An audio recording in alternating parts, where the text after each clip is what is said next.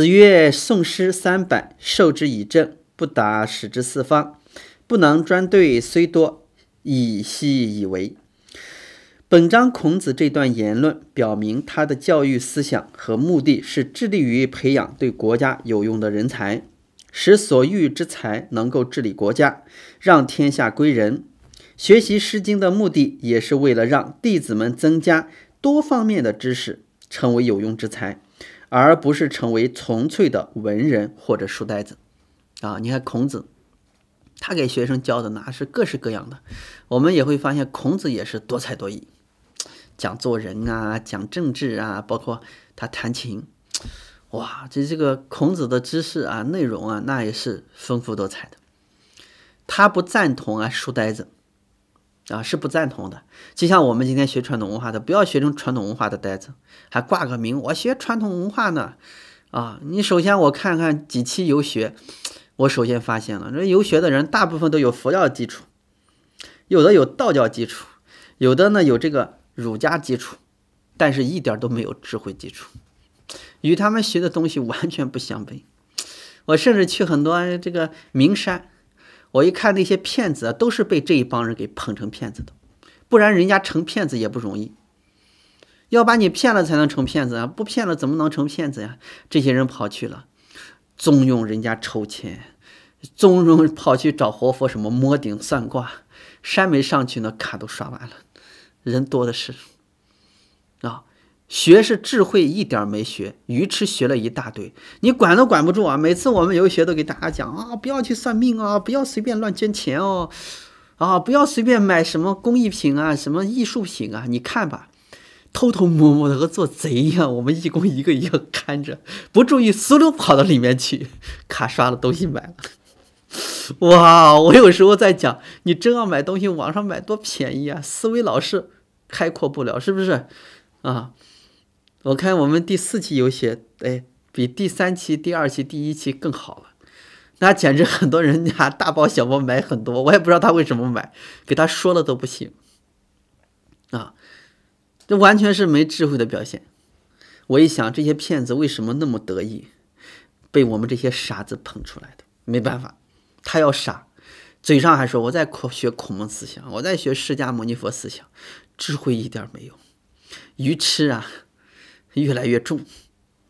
哎，这就是我们在学习的过程中完全就迷失了啊！人家忽悠两句，说这买回家你能发财，马上买一个；一说这能保佑你们家孩子升学，马上买一个。像你这么一句说，孩子不用考试了啊？你想呢？他卖给你，他不想发财呀，是不是？他卖给你了，让你买回去，让你发财呢。我要是他，决定不卖给你，我自己先留着，让我发财了，我也省得卖给你挣你的钱，是不是？那都愚痴的想法，我们都想不清楚啊！不断的去买，啊，真的是买，要不然就是呀，它便宜我买，便宜有啥用啊？关键不是说便宜对你有用再买，便宜也不能买，买回去不能用就是垃圾，还占空间，是不是？没必要。啊这是需要我们大家有智慧去，哎，面对的。这也就是孔子不愿意啊，他的学生纯粹成为文人或者书呆子。《诗经》中有很多议论政治得失的篇章，因此对执政者有警醒、借鉴作用。读《诗经》而不知民心之所向，政事之所趋，不能活用活学。那么读的再多也是没有用的。由此可见，孔子是倡导学以致用的。啊，孔子是非常倡导学以致用的。就像我经常讲课告诉大家，学要用哦，用就变成你的，不用永远是我的。啊，你会背都没用，你会讲都没用，只要不会用，永远是我的，不是你的。啊。四书五经、佛教、道教、儒家所有思想都是让我们学而致用，这是这些圣贤的真正的目的，不是让我们学了一个神神叨叨的摸个顶啊，啊加持加持啊，去了赶快就磕头啊，哇！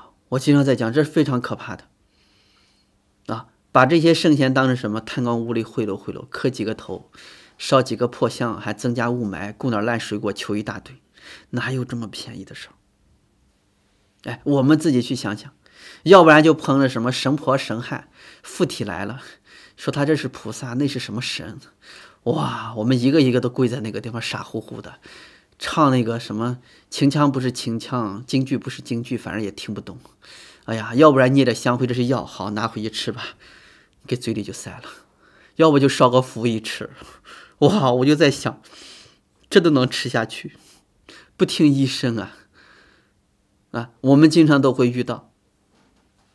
这个是非常可怕的事情啊！哪能迷信这个东西啊？啊，要不孔子讲“敬鬼神而远之”，啊，一定要远之。今天学习一定是智慧增长啊，所作所为符合智慧的道理，符合智慧的方法，这是我们学习政治的目的啊。所以孔子提倡的是学以致用，一定是学以致用。永远告诉大家，世上没捷径，哪有捷径啊？是不是？啊，你看到那些捷径，那是神话电视看多了。你吃个饭还要嚼呢，你不嚼就把你掐死了，哪有那么捷径的事情啊？是不是？一步一个脚印，踏踏实实做好人，做好事，应用古人的智慧，让我们少做错事，少走弯路，就是捷径。啊，用智慧面对我们人生啊，这是非常重要的事情啊，所以要学活啊，不能学死，学死就没用了。魏国和鲁国是兄弟之邦，鲁国是周公之后，魏国是康叔之后，周公和康叔是亲兄弟。魏国政治经济。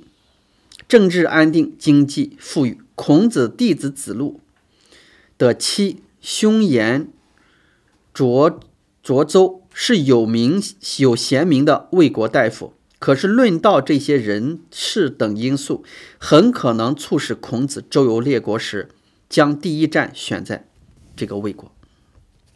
啊，孔子说：“熟读诗三百篇，交给他政务，他却搞不懂。”派他出使到四方各国，又不能独立应对外交，虽然读书多，又有什么用处呢？啊，就是我们今天学了这些东西，一定是应用，处理事情、与人交往，啊，还要有智慧，把大的事情变成小的事情，小的事情变成没有的事情，所有困难自己能扛得住，完全可以解决，还很轻松，不得罪人。啊，这叫学以致用的这种特点，要不然的话，我们在学习的时候就出问题了。为什么我一直在讲？我说我在讲国学和别人不同，我是看到讲国学的、佛学、道学的里面有很多弊端了，讲课的老师都过得悲悲戚戚的、可可怜怜的，要不然一个一个学的跟精神不正常一样，神神叨叨的。啊，要不这大仙那大仙，要不然人家学学就睁着眼睛跟我说：“秦老师，你看我看见什么了？”我说：“看什么了？你看那儿发光呢。”我说：“太阳在那儿能不发光吗？”我一惊一乍的干什么呢？你是不是？哇，我就觉得很不正常了。要不然呀，太阳周边有祥光，哇，是不是？我们一天追求一些啊稀奇古怪的一些东西啊。我太阳照出来光全是祥光，不是祥光吗？大地回春，是不是果子成熟？那不神奇吗？是不是？我们非要把它弄的那种，哇，一惊一乍的，别人听起来好像，哎呀，你好像很厉害，能看见这，能看见那，这都是不正常的表现啊！即使能看见，《金刚经》上在讲，凡所有相，皆是虚妄，没必要说说它干什么呀？那都梦话，是不是？在家没意义。啊，要不谁给我一说他怎么怎么样，我那行啊，那你飞起来我看看。要是飞不起来，别说那话，老老实实坐那儿吧，是不是？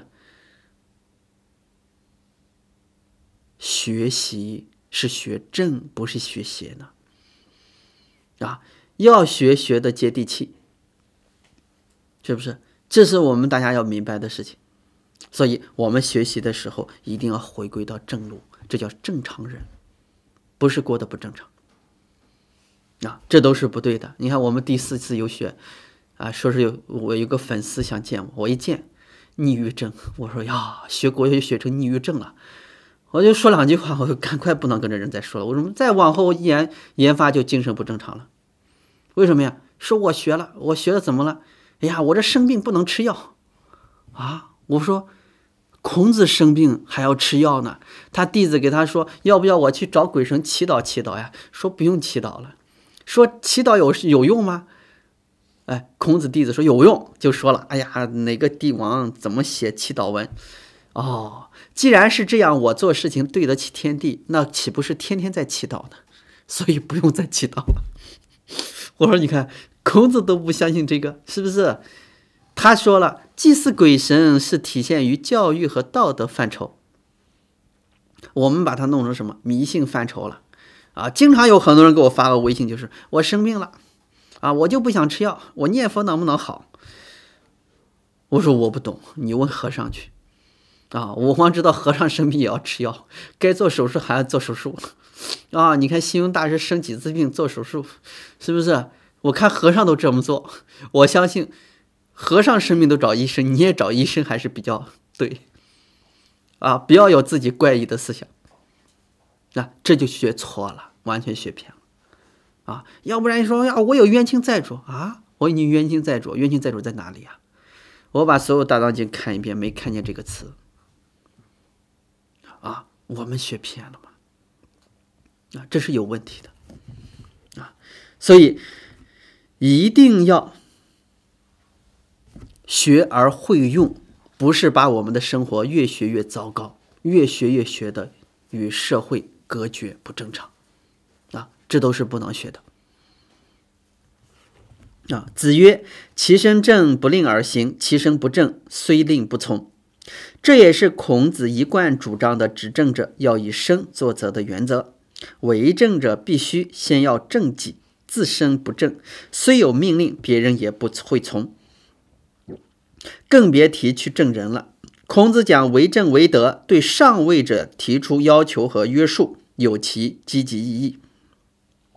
啊，就是一定要生正啊，这个生正是非常重要。就像我跟你讲，一个老师给你讲啊，你要如何经营生意，他都经营的倒闭了，你还能听啊？是不是？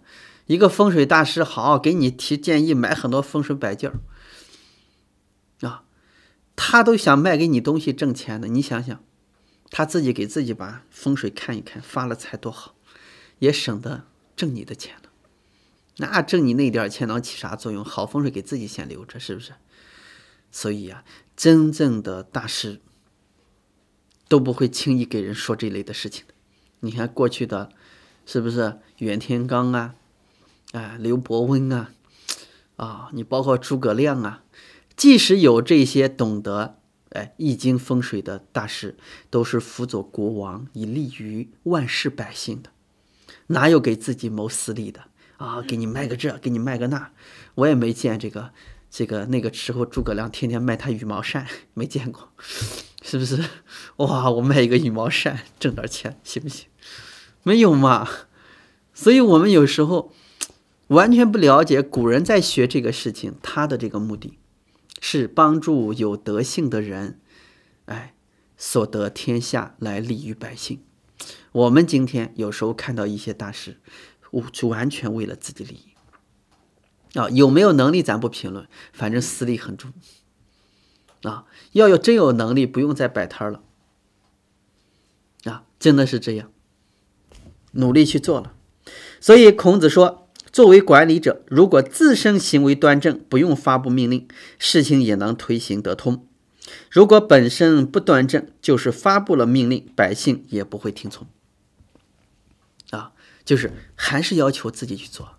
今天我们学习一定是其身正，自己身要正啊，这是非常重要的啊。你什么时间看见曹德旺、看见马云劝人学佛呀？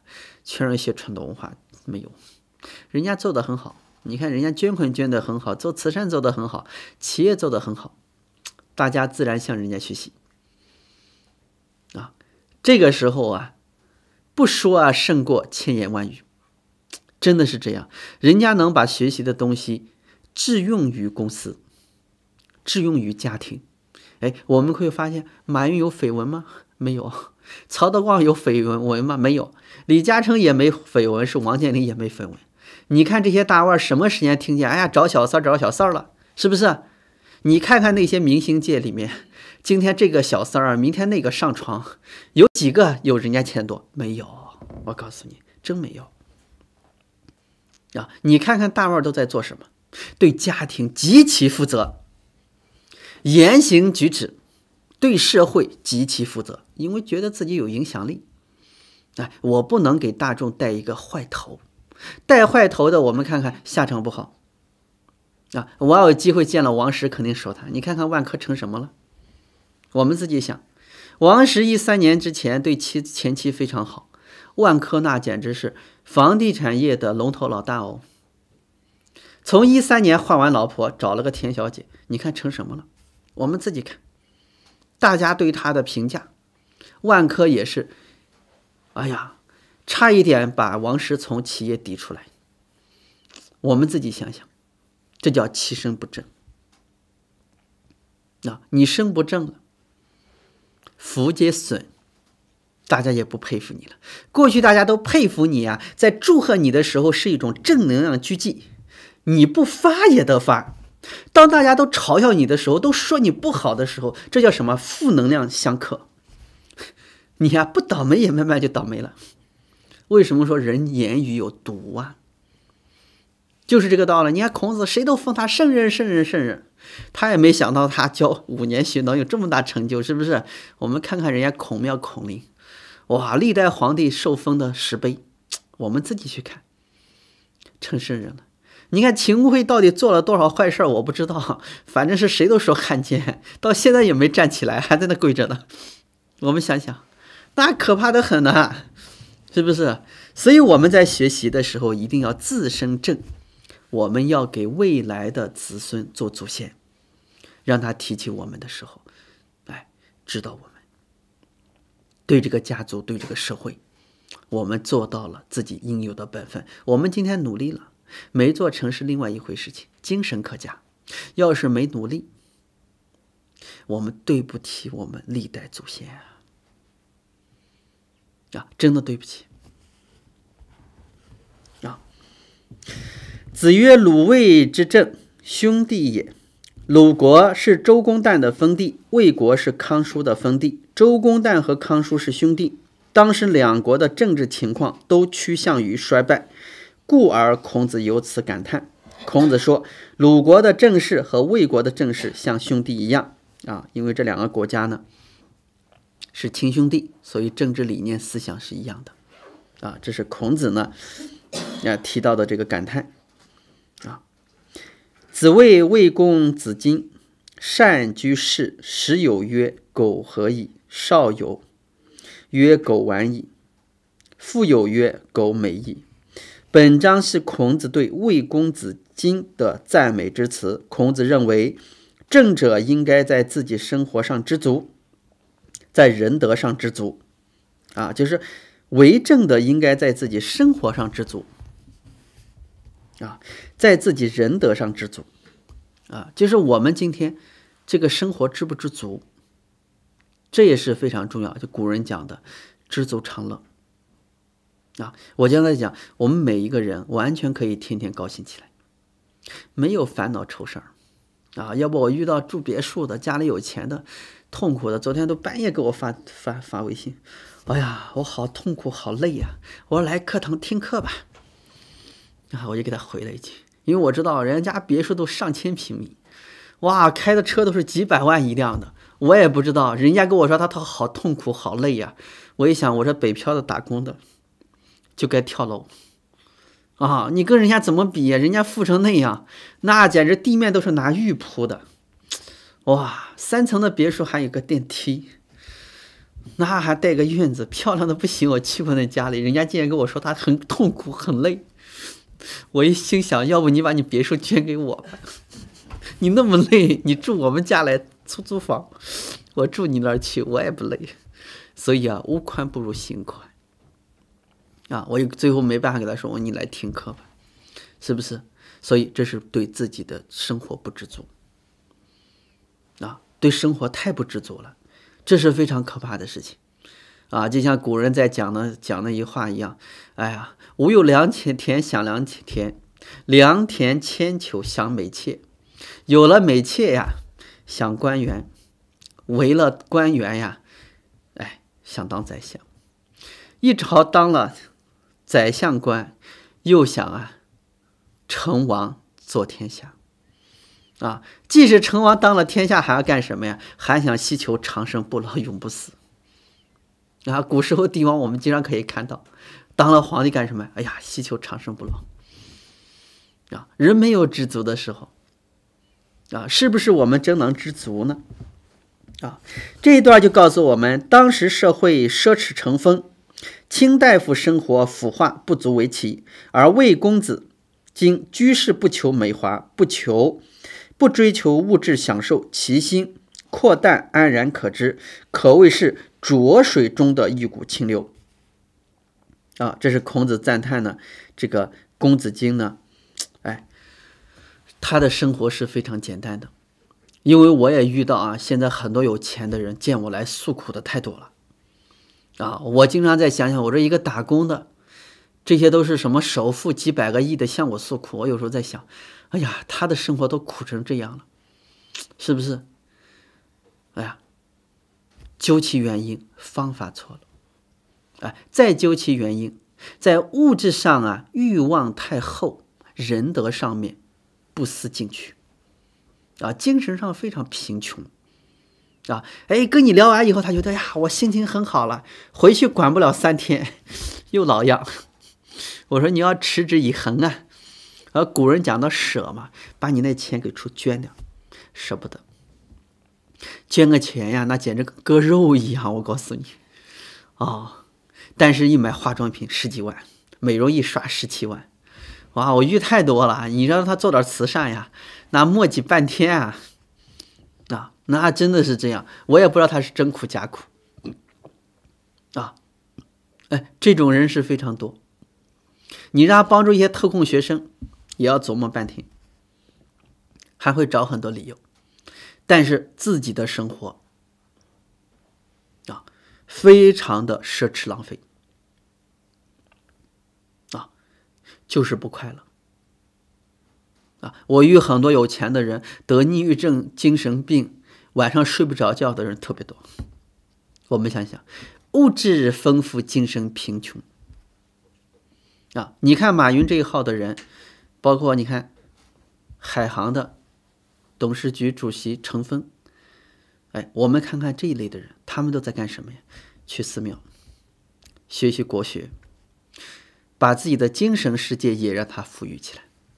这个时候，他能把握住自己的财富，不会被财富控制，变成物欲横流的人物。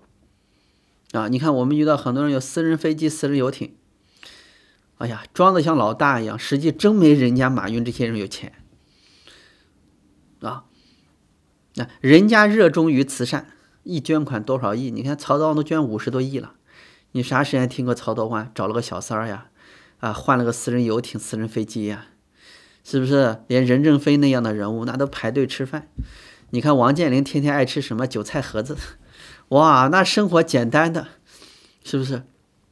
啊，你看陈光标一天减肥呢，你看，哎，京东的刘强东一天减肥呢。人家都有那种毅力啊，我们自己想想，你看看人家都在做什么啊，非常了不得的事情啊。孔子谈到魏国的公子荆，说他善于治理家政。当他刚开始有了财物时，便说差不多够了；当稍微多了起来的时候，就说将要足够了；当财物到了富有的时候，就说真是太完美了。就是知足的心是非常重要的啊，真的是这样啊！就像人家医生说呀，你这么年轻，眼睛不好了。我说我比瞎子强啊！一说呀，你这年轻轻的，哎，你要好好努力挣钱呀！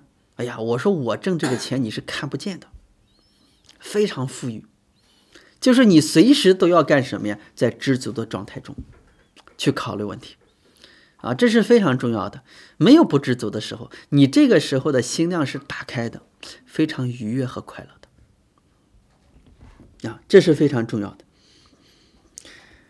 子时谓冉有仆子曰：“树矣哉！”冉有曰：“既树矣，又何加焉？”曰：“父之曰：‘既父一，有何加焉？’曰：‘教之。’本章孔子提出了先富后教的政治理念，认识到经济富裕是德教的基础。孔子重视教化，但并不空空言，凭空言道。你看这一段也告诉我们，孔子啊，他提出是先富后教，你要富裕了，我再教你，你能学到位。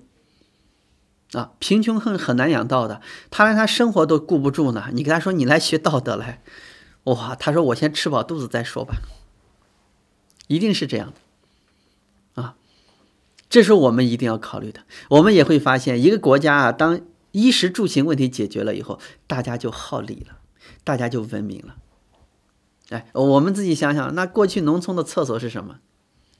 是不是？你看现在农村的厕所都做的特别漂亮。哇，这个墙面都贴成瓷砖哦！我们会发现，经济好了以后，大家就好理了；经济不好的时候，哎，盗窃贼乱就特别多啊！真的是这样啊！所以孔子在讲这个富裕是非常重要，他认识到经济富裕是德教的基础，经济富裕一定是德教的基础。即使我们去寺庙，你看免费的告诉你，后面有人捐，没人捐也捐不出去。反过来，我们看看庙里头的佛，没有一个显穷的。净身，是不是？你看菩萨，哇，个个都是，哇，珠光宝气，是不是？包括道教的天神，我们也可以看看穿的那个衣服，各种珠宝光宝气，都是显显啊富贵的。我们要说啊，学佛学道学儒，都一个都学成乞丐了，没人去了。我告诉你，一定没人去。所以，孔子的主张不是让我们学穷，是学富的。富而有仁，而不是为富不仁，这是他的理念。啊，包括佛教理念都告诉我们，西方极乐世界遍地黄金，像我们大地的土一样，给你你都不要。啊，所以那个地方全部是富足的，你就把贪止住了。啊，你一看哇，哪儿都是黄金哦，跟我们大地的土一样，你会要吗？所以你贪心就没了。所以，他富足到让你不贪，啊，是非常富足的。孔子重视教化，但并不凭空言道，而是明白教化在物质生活已经达到一定程度后才会有成效。所以，一定要深入理解孔子的原意。孔子不主张穷啊，啊，他讲到是富裕到了一定程度，你在教化他。他才会有成效的啊！就像我今天给大家讲课，我告诉你，我家里两个孩子都没饭吃，我坐这给你讲课，你想都别想，早跑了。我这人爱说实话，我这是月月领的工资呢，工资挺高，哇，这这不缺吃不缺喝，正好有时间，老板也不敢开除我，就仗着这一点事，我给老板讲了，请了三年假讲三年课，是这样的啊。要不很多人说，秦老师你还上班，我我不上班你养我呀。让你买个书，你还追那一块钱呢？我还给你赔几块钱进去，连稿费都不要，哈 是不是？我们要考虑这个问题哦，这一定是值得我们大家思考的。就是因为我在上班，有工资养家，所以我才出来能讲十几年课。太太家很安稳呀，那不然买菜都没钱，我不能天天向人化缘去啊，是不是？啊，在家我一年还要捐赠那么多钱出去做慈善呢。这是值值得我们大家去思考的一个问题，啊，这是非常重要，啊，一定是非常重要的，啊。孔子到魏国去，冉有为他驾车。孔子说：“人口真是众多呀。”冉有说：“人口已经是如此众多了，又该再做什么呢？”孔子说：“使他们富裕起来。”冉有说：“已经富裕了，还该怎么做呢？”孔子说：“教育他们。”啊，人口多了怎么办？让他富裕起来。那富裕起来以后怎么办？教育他们。啊，一定教育他们。你看，我们习主席现在提到的国学理念，是不是去屈服推广大家学习孔子的东西？哎，这就是我们现在经济非常好了，但是呢，我们在国外买奢侈品花钱，国外人说中国人不讲礼貌，你 好没素质。哎，习主席想个办法，学习国学啊，学习国学以后呢，让我们大家懂礼仪啊，懂得礼貌。出去以后花钱，人家也喜欢我们，不然我们现在花钱，人家不喜欢。啊，你看我们闹的笑话，跑人日本马桶盖背回来，哇，我们有时候讲的比较诧异啊，那那真的是这样啊，是不是？这是需要我们大家去思考的，去想的一个问题。今天我们学习东西的过程中，一定前提是建立在富裕的基础上的，啊，贫穷肯定不行。啊，这是值得我们大家去思考的。在这个上面，我们也理解孔子不主张穷，主张我们合法经营、照章纳税。啊，希望我们大家哎努力的去挣钱。啊，因为什么？慈悲你慈悲的你一定要有钱哦，有钱做慈善哦，帮助弱势群体。这样才真正有价值，不然是没有价值的。我们在学习理念的时候，也要明白，不管是儒家、道家、佛家，都是教我们富裕的。啊，你看佛教都在讲念佛一句增福无量，礼佛一一拜罪灭河沙，都告诉我们，你念佛就能增福无量，是不是？没有说你一念佛穷哈哈了啊，你一拜佛变成乞丐了，谁还去？没人去了啊！你一看佛全是精神，哇，菩萨一个一个穿的珠光宝气。都是显示富贵啊，因为富贵是才能养道的啊。很多人在学习儒家思想、佛家、道家的时候学偏了。佛教讲的四大皆空，那是对名利不执着，能看得破，能放得下啊。但是不反对，你盖个庙也需要钱，塑个佛像也需要钱哦。你没钱，你肯定是做不了的。啊，释迦牟尼佛那个时候在世，也是各国国王有钱，大富长者子，是不是？给他一捐，捐个精舍，一捐，哇，捐个讲堂，他才弘扬起来的。啊，我们可以借富人的钱帮助穷人，哎，有一个正确的思想。啊，你包括我们现在的微公益也是，大家可以捐书，捐完书我们送给那些没钱的人，还送给那些哎有钱不想买书的人。是不是让他看看？说不上，他突然有一天，哇，明白了，他也开始做慈善了，都有可能哦。啊，我们用感动的方法嘛，去引导他们，这是我们唯一可以做的。好，这一堂课就讲到这里，谢谢大家。